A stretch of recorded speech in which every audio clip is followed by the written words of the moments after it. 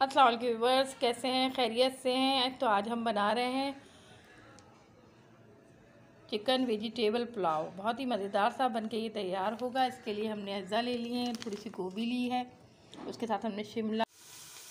Viewers तो हमने प्याज देखे लाइट ब्राउन सी कर लिए सरसों के तेल में। अब इसमें हम अज्जा ऐड करेंगे अपने वेजिटेबल पुलाव के लिए।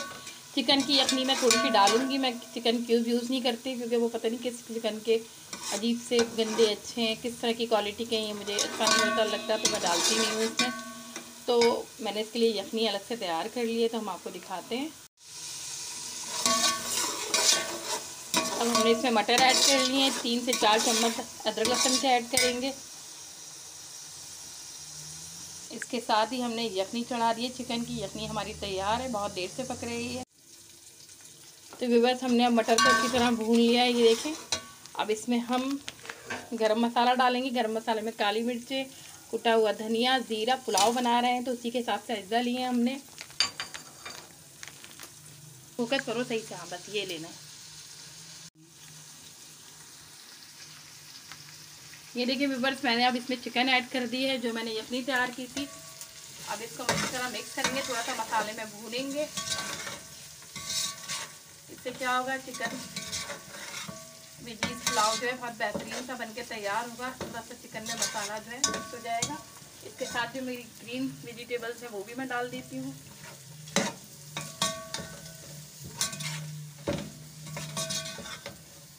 ये देखें व्यूवर्स हमने थोड़ा सा मोबाइल में प्रॉब्लम हो गया था तो हमने ये सारी चीज़ें कंटिन्यू नहीं कर सके।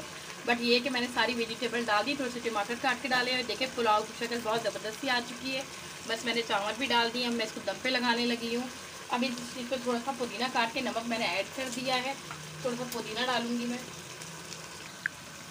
ये देखें, मैंने पुदीना डाल दिया है व्यूवर्स और नमक चेक कर लीजिएगा। इस स्टेज पर और ज़बरदस्त था हमारा चिकन यखनी। वेजीज पुलाव तैयार हो गया, हो जाएगा इन अब हम इसको दम पे लगाने लगे ये देखिए चावल आप देख लें। मैंने यखनी ऐड की थी और थोड़ा सा पानी। खड़े खड़े चावल रहने चाहिए, थोड़ा सा मिक्स कर लें आप। अब हम इसको दम पे लगाते हैं। फिर मज़ेदार सा पुलाव आपको दिखाते हैं डिश आउट करके। ये देखें वेबर्स हमारा मज़ेदार सा चिकन यखनी वेजीज पुलाव बन के तैयार हो गया है।